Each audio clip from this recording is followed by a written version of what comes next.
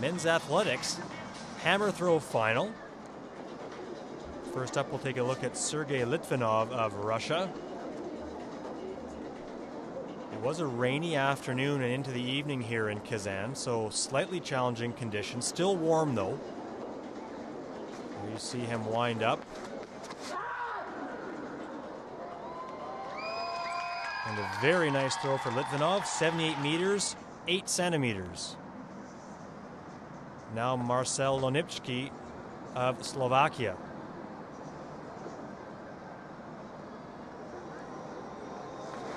Here's his windup. Great height on that throw for him, too. And he will end up with a throw of 78 meters, 73 centimeters. Slovakian fans in the crowd happy with that throw. Now Pawel Fadek of Poland. And great height. He likes it right out of the gate. And that would be a throw of 79 meters, 0.99 to win him the gold medal. That's a season best.